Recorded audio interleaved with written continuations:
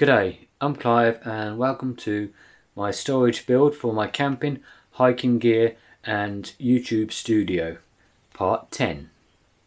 What do you think? How's it looking? This is what we got done. If you remember in the last video, this one cracked all the way down, it started there, around and back up. So what I had to do is I actually glued it, which I don't think was going to be strong enough, and I've added just three screws in here which is actually holding it quite strong. So happy with that now. And notice we've got all the sound dampener put up. Now I was only going to take it to this point here but I kept looking at it and looking at it and I thought nah it didn't look right stopping there so I brought it all the way up to the end here. And that's going around the full length of this shelf and all the way to the edge on here. And it's amazing just by adding that one it's made a massive difference to when I'm got the uh, speakers on my computer working in opposite corner. Even though I had this up which did reduce it the echo and that tinny sort of noise sound. This just increased that big, big time. So I'm happy with that. What I am going to do, I'm not thinking it, I'm going to do it, is this. I'm going to continue down here. It just doesn't look right with having that gap, and that's just out of me personal preference. So I'm going to have a piece, this one the same, and the same down the other end, just to finish it off, to run it underneath the sound dampening. I've still got to do the rest of this one, the trim on the front here, the fascia, and I'm going to do the same here. I'm just going to run it all the way across just to finish it off to make it look nice. The way I actually fitted these, I don't just might just see it. There's a staple in there. I just stapled them on, and it seems to have worked pretty nice. Now, let me know what you think about these. Should I paint them black so it just hides and disguises, or should I just leave it as wood? Leave me a comment. I'm in two minds. Next thing I got done, it's not completed, I still have to trim along the bottom here, just so it's level with the next one. And I just want to sand that back because it's actually a little bit close and it catches a bit. But I have put these little latches on. And then he went with the small ones. So we've got two of those. Just evenly space up. So now packs aren't pushing the doors open because I've got latches, one up here and one at the bottom. So there's one, there's the other, and they're just down here. Now I did experiment with these. This one I put the screw on the top and you've got an option for two here at the top that would have been too close to the edge. So I went with the actual fascia ones. But I did slightly drill out two holes here for them screws that fit in so it doesn't miss the door closing and the latch doing up. So yep that cupboard apart from the shelf in there and these little bits on the door is now complete Uh, this is what I want to get done in this video. Get these three doors on. I was short of some latches so I went out and bought a couple more yesterday and like a dollar seventy-five, dollar seventy-six each. So that's they're what they're ready. I've measured the spacing for the doors and the plan is to make the doors similar to this one here but before cutting down the middle and putting them up as two separate ones which you can never get angled right. I'm going to measure it so it fits in properly. Then I'm going to screw or mark the holes and drill them. Then I'm going to go out, cut the center line, then install them separately and they should be nice and level at the bottom. So we've got three of those to get made today. And at the back of these cupboards, as I mentioned before, I've still got to do the sound uh, proofing and the bits of wood at the back just to close it all off and finish it.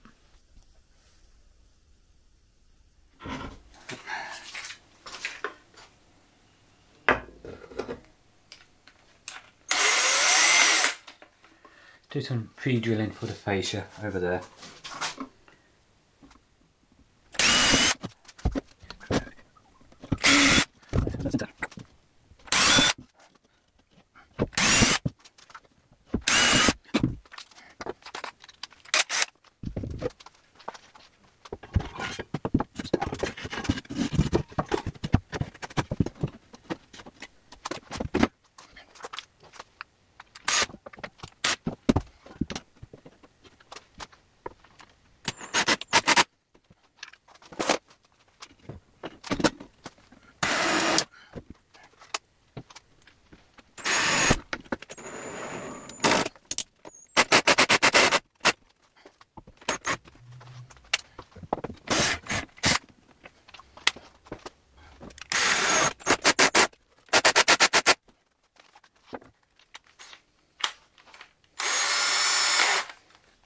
The drill holes down to pre-drill. Because of this piece I can't get in properly so I'm just going to redo them a little bit further out. Give me easier access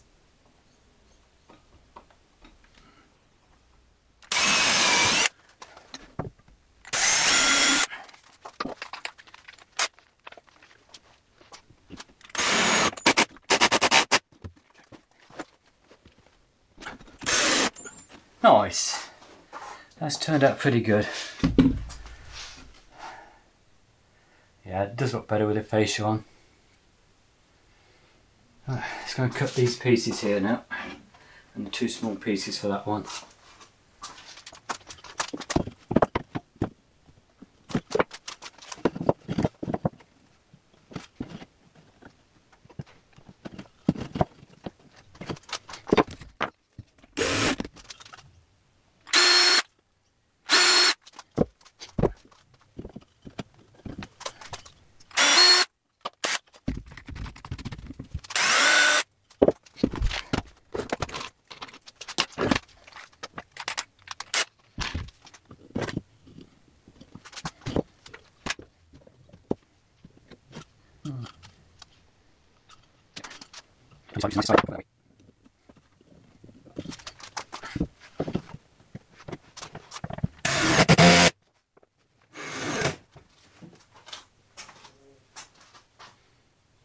Yeah, prefer that. So this one.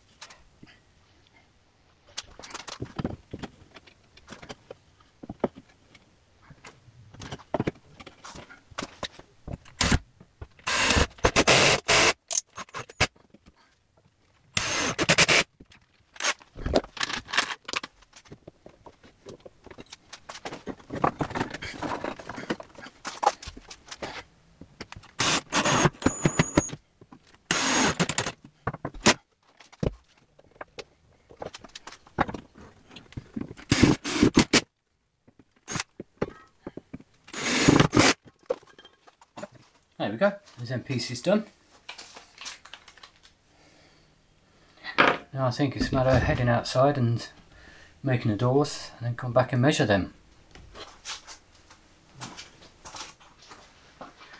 Okay, put the first one of the doors I'm making today into place. Not screwed in or marked yet. The actual door wood is a little bit thicker than the actual frame here. So it all seems to Work pretty well. Not far off level from the bottom, space at the top to open. So I'll mark all these and I'm going to cut it down the centre, then I'll come back and screw it in place. I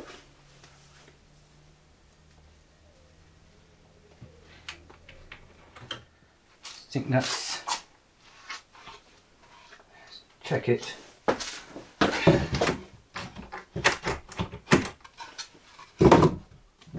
that's that one. What we're going to do we're going to pre-drill just make it easier to screw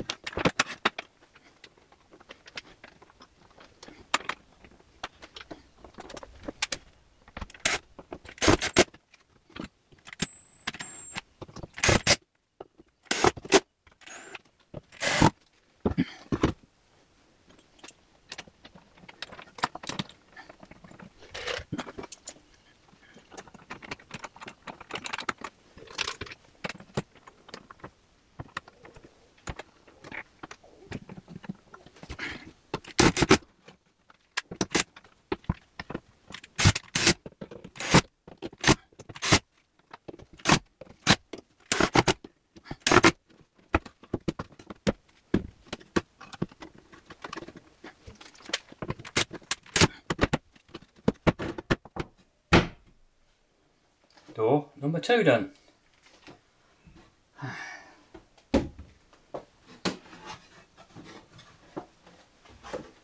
Sand.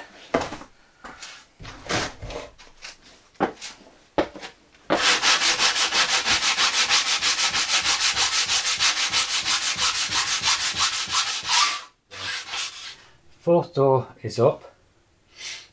Now lucky enough I wasn't going to keep this one this wood here is actually warped and twisted uh, a little bit too much.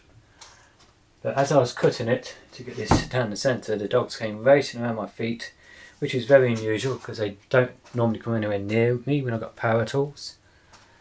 And as I try to um, let go and move it safe out their way I should cut down here at an angle. So the gap at the bottom is a little bit bigger than the top but that's okay. So the four doors, let's say, are done now. So just got to replace uh, this one here. Yeah, I started to come off here. So replace the whole door, get it all put back up there, mark it and fit it again. When I've got some more wood that will fit that space because I don't have any left now. So we're going to start on now is the very back of the cupboard.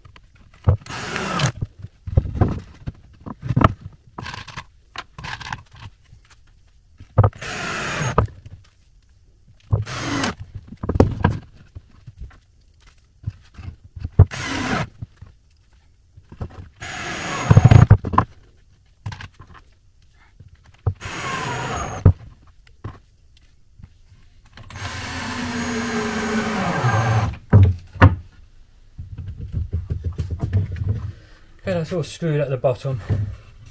What this piece is for is just to hold it away from the wall. Soundproofing will go in here, level with this one, all the way across, and the rest of it will be screwed from the other side to fit into the actual uh, the beam, the shelf supports frame, the frame. That's it. So that'll hold that in place. And the next thing now is to get the measurement all the way across, and then put some soundproofing on.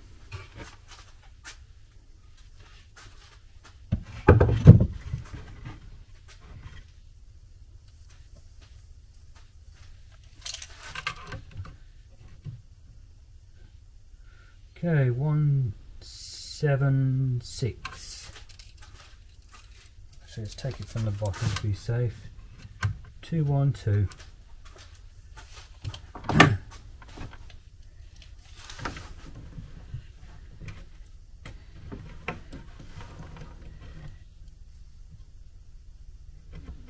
Two.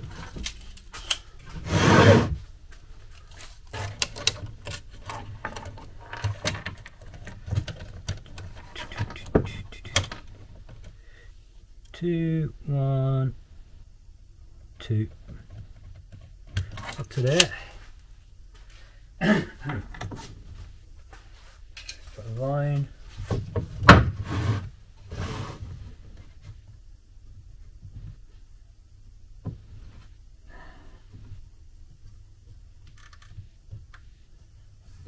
Okay. Double check. two, one, two.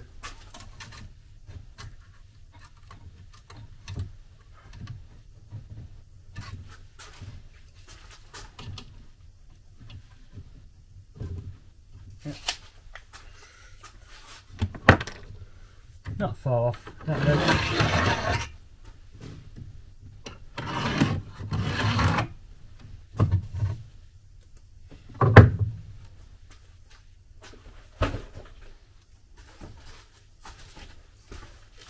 Right, it's the first one. I'm going to have to cut a piece to go here. Or should I say I'll go like that first, then cut a piece to go there. And then we'll get it up in the cupboard. And this has got a sticky back as you can imagine.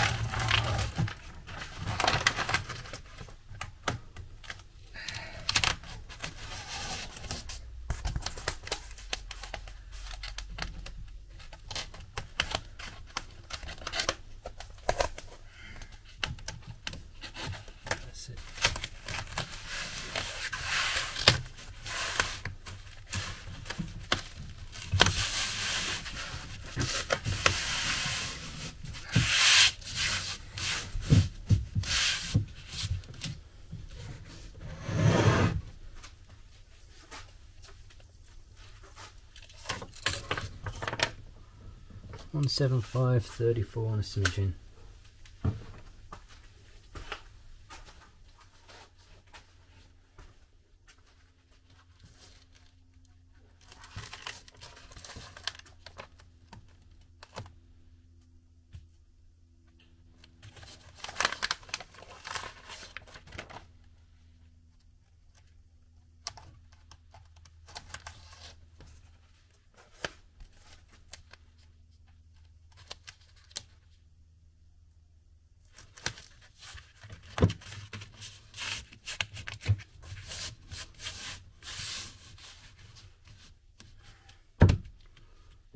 Okay, let's get up in the cupboard.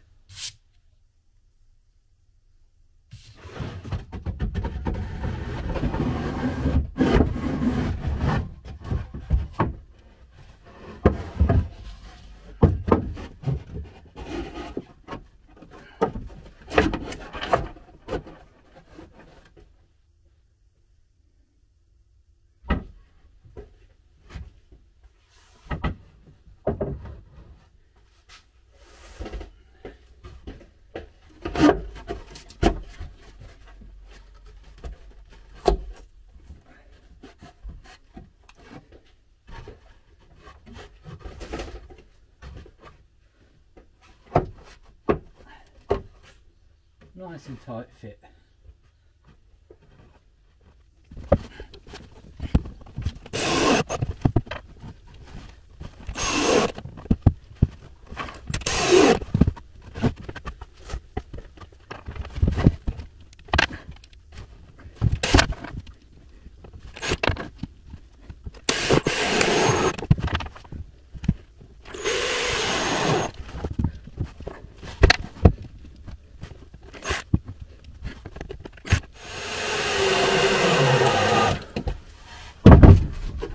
Nice and secure.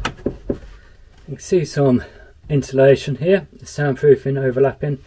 That means when I put the next one on, it'll actually squash up against that and create a nice tight seal.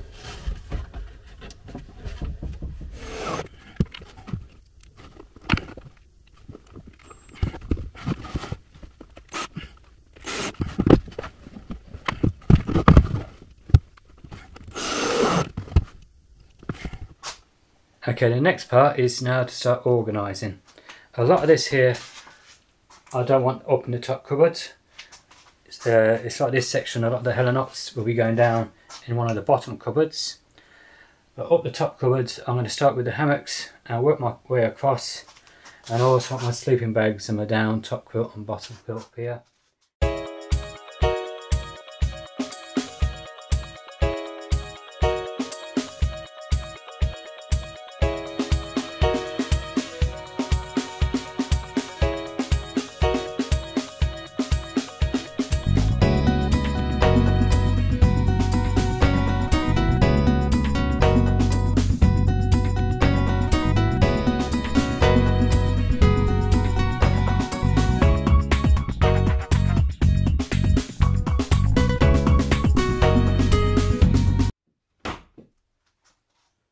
Perfect. Now I've got this to sort out. For now. Until I've done these cupboards at the back and the soundproofing and then work to the bottom to the cupboard at the back there and soundproofing and then get the doors on. But that'll be for another video. Everything on my list got done. It took me four days not in total, a little bit the first day, a little bit second day, a little bit third day, a little bit today to get it all done, plus all the other things I've been doing around the house and off out and hospital runs and stuff like that for family. But hope you've enjoyed the video and if you have and you're not a subscriber, please go down below and click on the subscribe button. Click on the notification bell next to it and select all so you can be notified of all upcoming videos. And hit the thumbs up button, the like button. And if you are already a subscriber, again, I thank you very much.